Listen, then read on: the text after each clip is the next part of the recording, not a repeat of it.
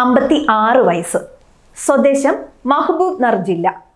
ബിരുദധാരി. തെലങ്കാനയിലെ മൽക്കജ്ഗിരി ലോക്സഭാ മണ്ഡലത്തെ പ്രതിനിധീകരിക്കുന്ന രേവന്ത് റെഡ്ഡി യുവാക്കൾക്ക് ഹീറോയാണ്. രണ്ടായിരത്തി ഇരുപത്തൊന്ന് ജൂണിലാണ് രേവന്ത് കോൺഗ്രസ് സംസ്ഥാന അധ്യക്ഷ സ്ഥാനത്തേക്ക് എത്തുന്നത്. തെലങ്കാനയിലെ മുതിർന്ന കോൺഗ്രസ് നേതാവും അഞ്ച് തവണ എം പിയുമായിരുന്ന ജയ്പാൽ റെഡ്ഡിയുടെ അനന്തരവൾ ഗീതയാണ് രേവന്തിന്റെ ഭാര്യ. വിദ്യാഭ്യാസ കാലഘട്ടത്തിൽ എ ബി വി പി പ്രവർത്തകനായിരുന്നു രേവന്ത് റെഡ്ഡി.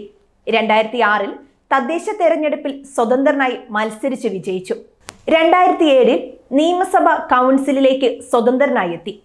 തെലുങ്കുദേശം പാർട്ടി സംസ്ഥാന അധ്യക്ഷൻ എൻ ചന്ദ്രബാബു നായിഡുവിൽ ആകൃഷ്ടനായ രേവന്ത് പിന്നീട് ടി ഡി പിയിൽ അംഗമായി.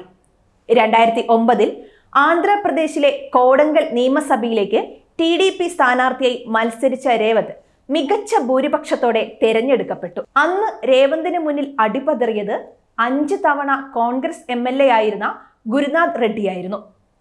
രണ്ടായിരത്തി പതിനാലിൽ ആന്ധ്ര വിഭജിച്ച് തെലങ്കാന രൂപീകരിച്ച ശേഷം നടന്ന തെലങ്കാന നിയമസഭാ തെരഞ്ഞെടുപ്പിലും രേവന്തിന് വിജയിക്കാനായി.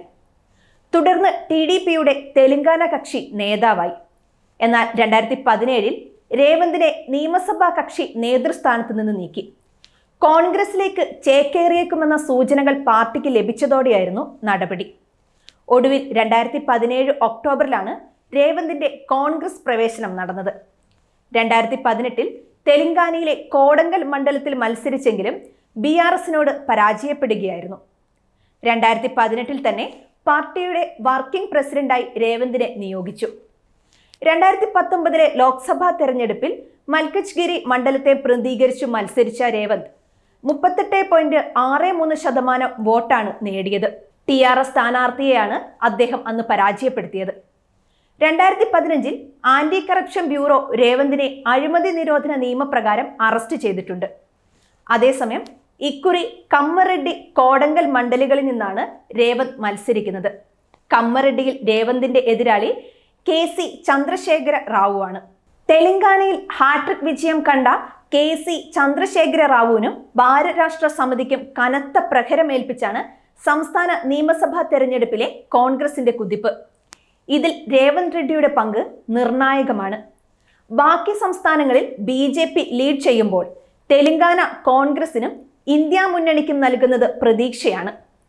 സർക്കാർ രൂപീകരണത്തിനുള്ള മാന്ത്രിക സംഖ്യയായ അറുപതും കടന്നാണ് കോൺഗ്രസ് മുന്നേറ്റം നടത്തുന്നത്.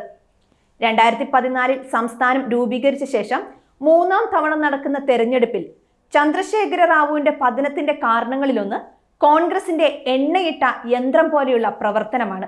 രാഹുൽ ഗാന്ധിയും ഹൈക്കമാൻഡ് നേതാക്കളും പ്രചാരണത്തിൽ സജീവമായതും പി സി സി അധ്യക്ഷൻ രേവന്ത് റെഡ്ഡിയുടെ മികച്ച പ്രവർത്തനങ്ങളുമാണ് സംസ്ഥാനത്ത് കോൺഗ്രസ് വിജയക്കൊടി പാറിക്കുന്നതിലേക്ക് എത്തിച്ചത്.